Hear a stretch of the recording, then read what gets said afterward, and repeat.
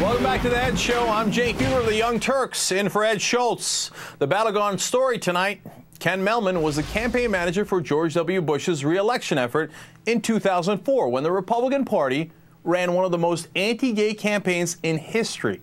They helped to put anti gay rights measures on ballots in states all across the country. Now, a man at the center of these smear campaigns has come out of the closet and said that he's gay. Mehlman says it wasn't him. He privately tried to talk the party out of campaigning on that issue.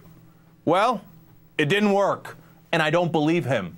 A lot of people are talking in sympathetic tones about Mehlman, and now they say they're concerned about the inner turmoil that he went through. You know what? He wouldn't have had any inner turmoil if he wasn't at the center of the anti gay party driving an anti gay agenda.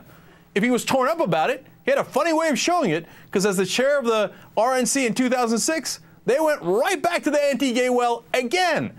He now asks people who doubt his sincerity this if they can't offer support, at least offer understanding. No deal.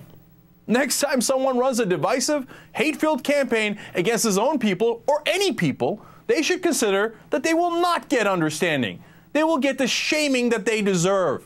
When it mattered, Ken Mehlman failed. He hid and he went along with the attacks he knew were hateful. Now that he'd like to go out on dates in public and wants to make a statement after he no longer has any power to affect his party, he acts as if he's coming out and it's brave. I'm not impressed. Next time, if you want understanding, do it when it counts. Apology not accepted.